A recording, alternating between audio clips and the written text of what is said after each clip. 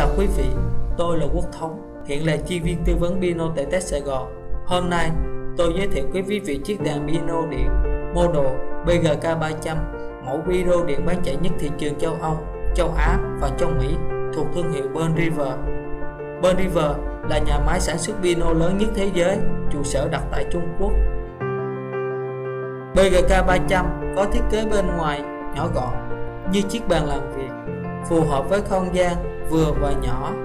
Thân đàn được làm từ gỗ nguyên khối, được sơn trắng, tinh tế, sang trọng. Chân đàn được thiết kế dày dặn cứng cáp, chịu lực đỡ cho bằng phím và an toàn cho việc di chuyển.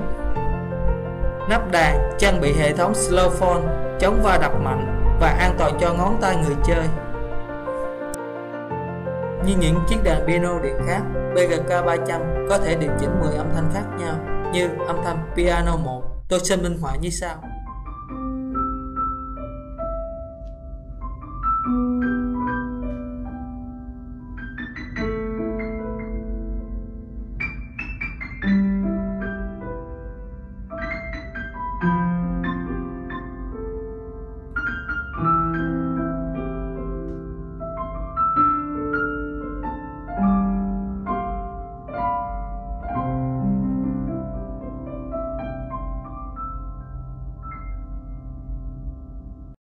Âm thanh 2 tôi chân minh họa như sau.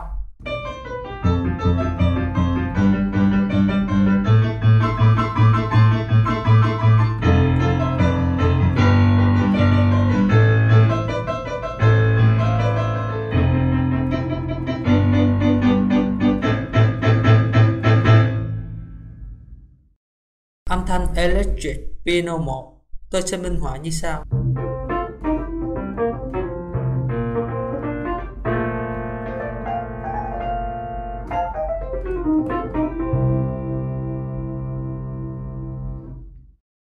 Âm thanh Electric Piano 2 tôi sẽ minh họa như sau.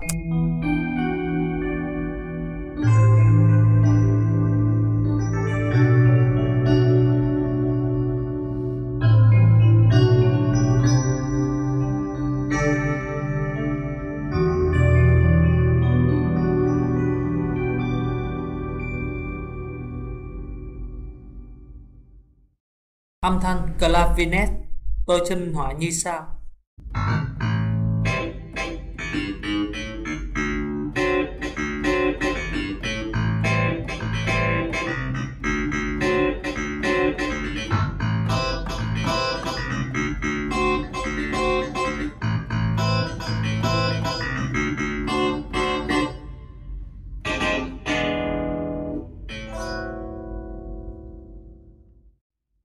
Âm thanh vibes.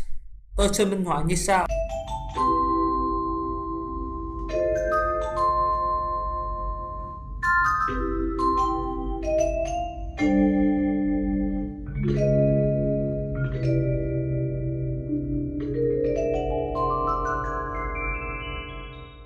âm thanh orange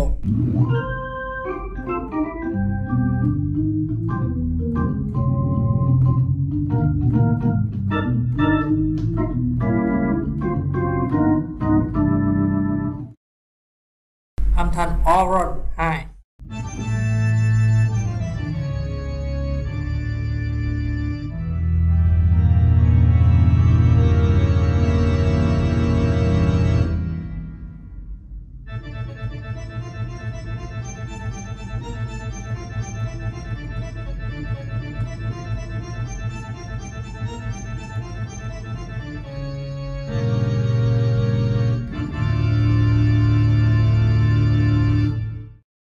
âm thanh string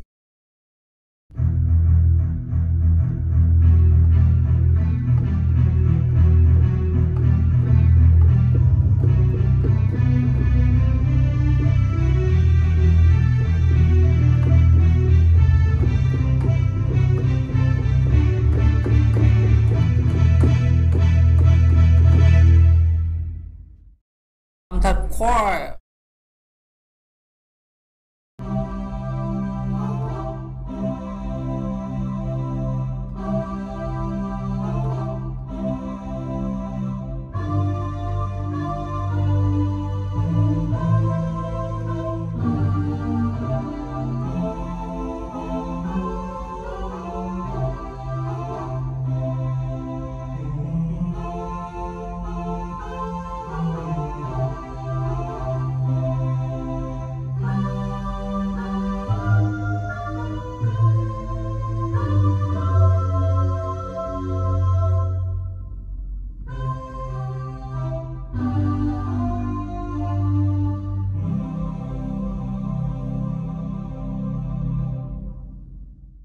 VGK 300 có tích hợp thêm phần điều chỉnh effect của âm thanh. Brilliance, độ sáng của âm thanh. Reverb độ vang của âm thanh. Chorus cộng tần số của âm thanh. Âm thanh trước khi điều chỉnh độ sáng. Âm thanh sau khi điều chỉnh độ sáng.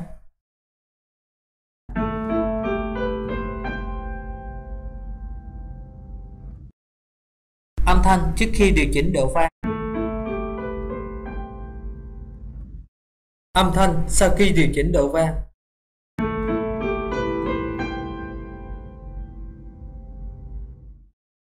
âm thanh trước khi điều chỉnh tần số. Âm thanh sau khi điều chỉnh tần số.